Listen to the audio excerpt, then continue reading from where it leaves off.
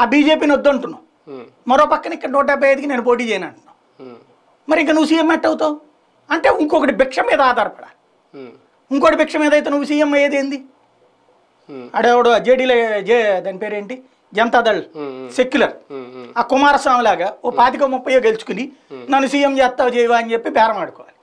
Blackmailing చేసుకోవాలి. కానీ Bharatiya Janata party జనసేనకు పవన్ కళ్యాణ్ గారి నిర్ణయానికి అన్యాయం చేసింది. నిన్న ఆయన మాటలను బట్టి చూస్తే ఆయన ఒక మాట అన్నాడు అమ్మ పెట్టా పెట్టదు అడుక్కు తిననివ్వదు నేను అద్భుతమైన ప్లానింగ్ చేశాను అది గనక జరిగి ఉంటే కథ వేరేలా ఉండేది. ఏంటో ఆ ప్లాన్ ఏంటో పాపం జనానికి కూడా చెప్తే అర్థమై ఉండేది కదా.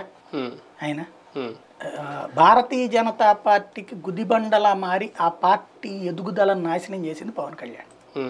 ఇది ఖచ్చితంగా ఒప్పుకు తీరాల్సిన అంశం. కానీ బీజేపీయే తనను అన్యాయం చేసింది అదే తనకు అనేది, అన్యాయం అది పచ్చి అబద్ధం కదా అంటున్నా. ఇప్పుడు ఎవడో సాక్ష్యం అక్కర్లా Hmm. కళ్ళెదురుగుండా కనిపించింది. ఆయన ఏమని చెప్తున్నారు?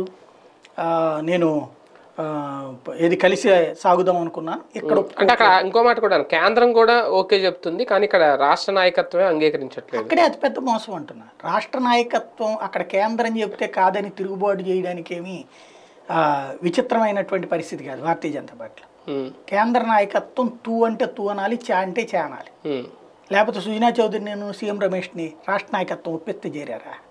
వాళ్ళు ఎట్లా రాగలిగారు పురంధరేశ్వర్లు వీళ్ళందరూ. జాతీయ నాయకత్వం